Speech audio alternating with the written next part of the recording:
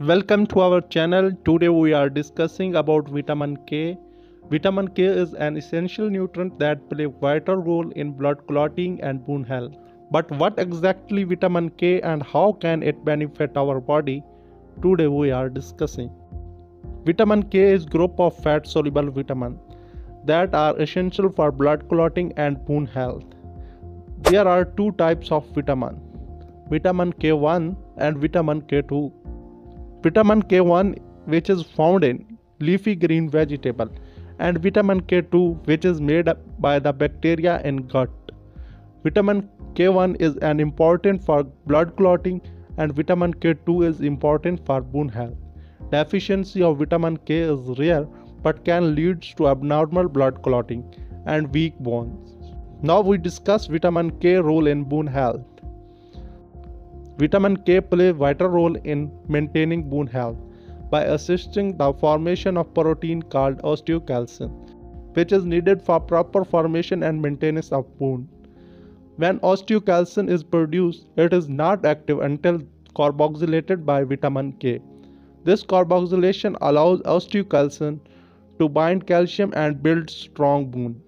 Vitamin K2 particularly important for bone health because it is form of vitamin K that is most readily used by the body for carboxylation of osteocalcin.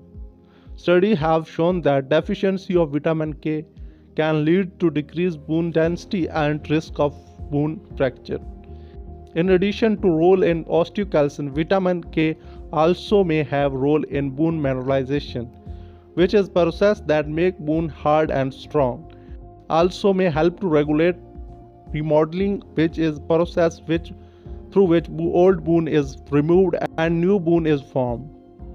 Overall, vitamin K is key nutrient for maintaining strong and healthy bone, and deficiency of vitamin K can lead to osteoporosis and increase of risk of bone fracture. Now we discuss vitamin K role in blood clotting. Vitamin K play critical role in blood clotting and also known as coagulation. The process of blood clotting involves a series of chemical reactions that convert a liquid blood into gel-like substance to form clots and stop bleeding. When blood vessels are damaged and platelets, cell of blood cell and clot factor seal the injury. When blood vessels are damaged, platelets or clotting factor, platelets and clotting factor in blood cell work together and form clot and seal the injury. Vitamin K is necessary for the production of several of these clotting factors.